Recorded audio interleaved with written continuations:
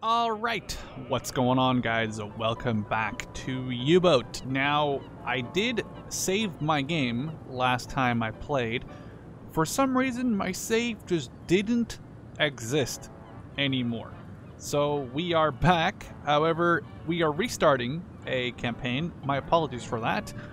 I decided, however, to instead of starting an Atlantic campaign where we're starting from that French harbor La Rochelle, we are now starting from the German harbor of Wilhelmshaven, which is actually uh, on the North Sea, which means that we'll be doing more patrols between Scandinavia and England, moving towards Iceland, or on the far side of Ireland, then we'll be going into the middle of the Atlantic, basically between the US and Canada and Great Britain. So here we are heading out of Wilhelmshaven. We are going to be hopefully surviving like last time, but I'll make sure to double check that I saved it at the end of this video. I'd like to thank you guys for all the support that we got on the first part. Very happy to see that you guys like this, hopefully as much as I like it.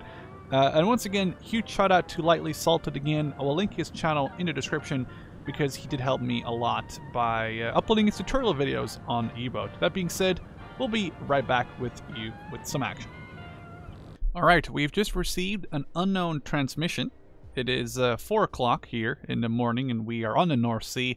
Uh, we have barely left Wilhelmshaven, so I'm kind of interested to see what the uh, transmission is going to be about. So let's skip ahead to where the radio op has actually uh, figured out what it is, and check out our messages. Some of our crew show signs of scurvy. We are asking nearby units to share some fresh supplies of vegetables or fruit. Alright, so uh, there, I guess we can do that they're kind of close to base, but I guess uh, what we'll do, they might just yeah, be, you know, in severe need of some food, I guess. But I mean, I guess by the time we get there, realistically speaking, they would already, you know, they would already have gotten their help. But, you know, we, we might as well just go give it to them real quick. We'll uh, give them some food, I believe. Actually, uh, let's take a look and uh, see. I believe, oh, this looks so good. Let's take a look. I believe we do have something right here food-wise. We have vegetables, we have exotic fruits. We can put that over here. I'll make this like a little bit of a divider. And we do have some, we have enough stuff in our galley. We actually hit some stuff here with the flak gun, so I think we are more than okay. We'll uh, put in some extra food, and then, uh, yeah, we can definitely hand off a little bit of our fruits and veggies, uh, you know, as long as that means that they're gonna not die. So, we'll uh, get back to you once we have contacted the friendly U-boat.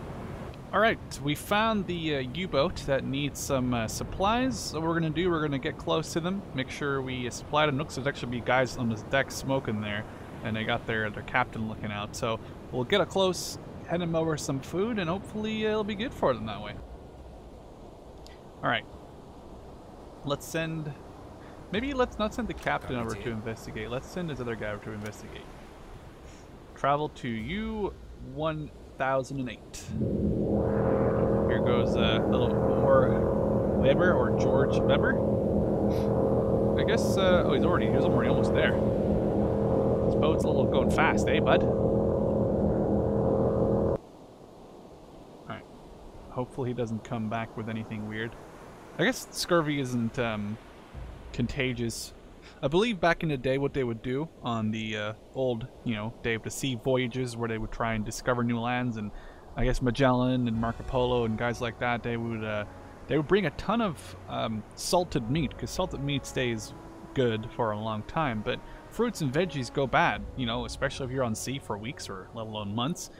And um, I believe scurvy, or uh, I believe in Dutch, scurvy is referred to uh, or uh, in Dutch, scurvy is literally called tear tummy or tear stomach. Um, it, uh, it, it really is a deficiency of having nutrients from veggies, if I'm not wrong. So yeah, we'll. Uh, okay. I can't click on this button. This is what? Should I? Oh, I should have given them food.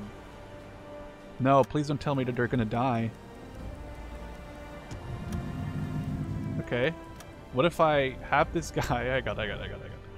Okay, I, I think I might have made a mistake there. This game is a, this game's kind of a, very interesting sometimes. I guess I just wish I wasn't that stupid. So we'll bring six veggies. This guy's now going to get his stuff. So now he has his things.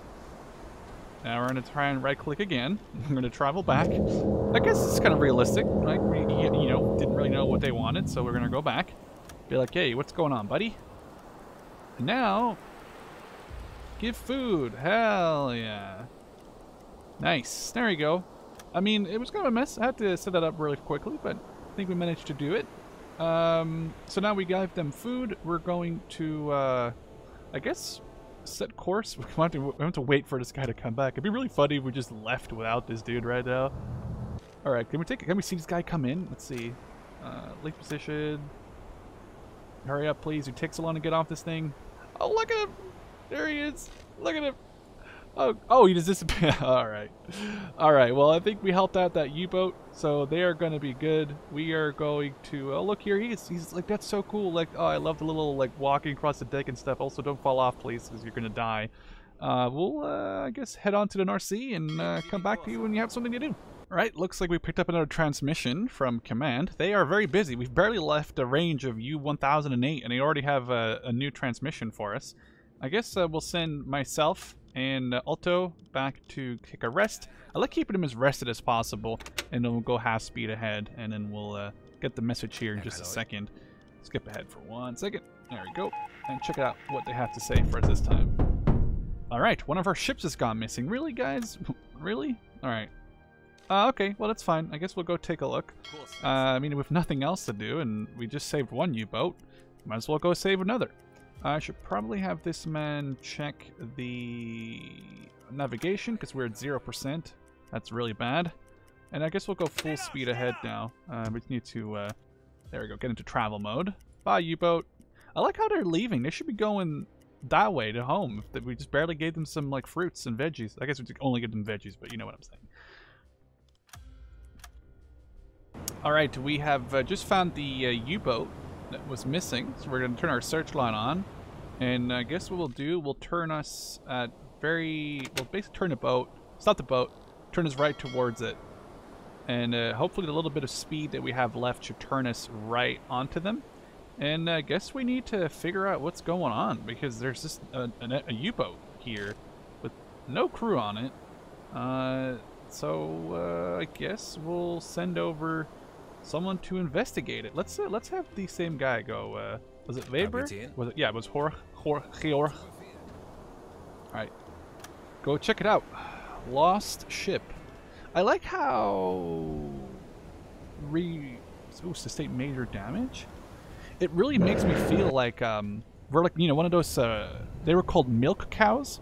I believe. Oh man, I, I, I hate that I'm using these videos as like sort of historical or uh, like little talks, but I believe they were called milchkühe or milk cows, and they were basically uh, huge as U-boats with most of their torpedoes removed. I think they only had the four torpedoes in the tubes and maybe like one or two to reload.